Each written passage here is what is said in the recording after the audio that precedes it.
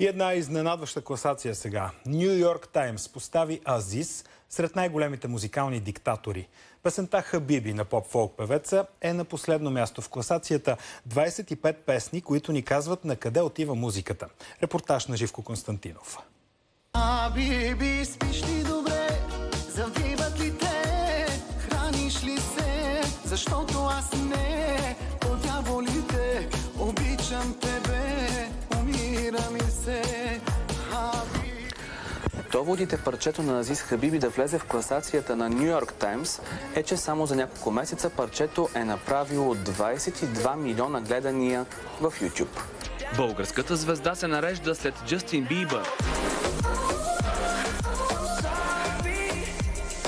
Риана. Coldplay. Та дори Лайнел Ричи.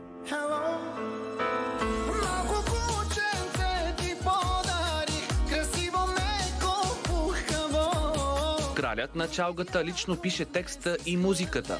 Мисля, че направих песен, която липсваше от много, много години. Старата школа има нужда да, да бъде показана отново. Залудница съм, на дъното съм, за никъде съм. Има много отхвърлени хора, които се чувстват като кучета. Бръкни на човека в сърцето. Бръкни го, извади му го и му го върни обратно. С финес. От Нью Йорк Таймс определят стила му на обличане като Джордж Майкъл от ерата на песента Фейт.